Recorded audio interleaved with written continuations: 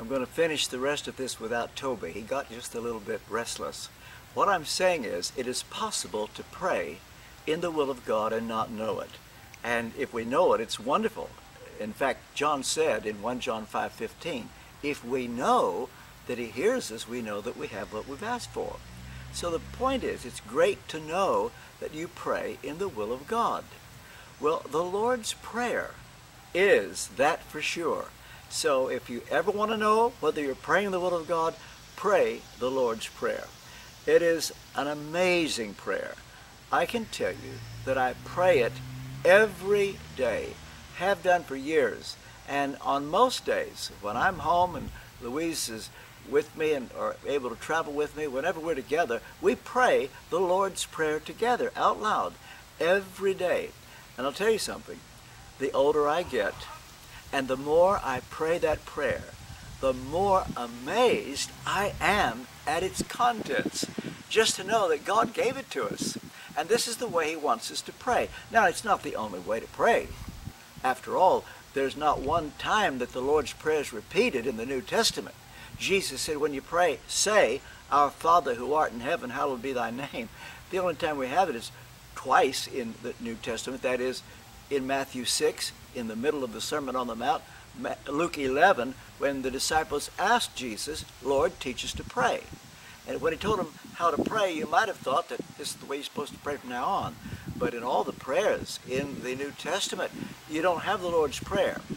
Well, does that mean that we're supposed to pray it word for word? I do it once a day. I think so. When I was at Westminster Chapel, we prayed it publicly every Sunday morning. It's a wonderful thing to do. Funny thing, this, I did not learn the Lord's Prayer in my home. I was brought up in a godly home. I can't remember ever that my parents led me to pray the Lord's Prayer. And I'll tell you something else. Didn't learn it at church. You would have thought, surely. Nope. I never learned the Lord's Prayer at church. Where do you suppose I got it? In school. In Ashland, Kentucky. In those days, a teacher could pray, read the Bible, and we all said the Lord's Prayer. That's where I learned it. It's wonderful that people know it. You should memorize it. You should know it backwards and forwards, if anything. But here's the thing. Though it's not the only way to pray, it's a pattern prayer. And when Jesus said, pray these words, Our Father who art in heaven, there's a hint we should address God as our Father. And when we know that He's in heaven, it's just a reminder it's a reminder we are on earth, He is in heaven. I think of that word in Ecclesiastes God is in heaven, you are on earth, let your words be few.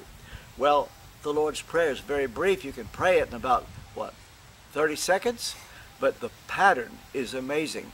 And it's a reminder that when you pray, you don't just rush into the presence of God, snap your finger, put your request, but no, you pause to worship.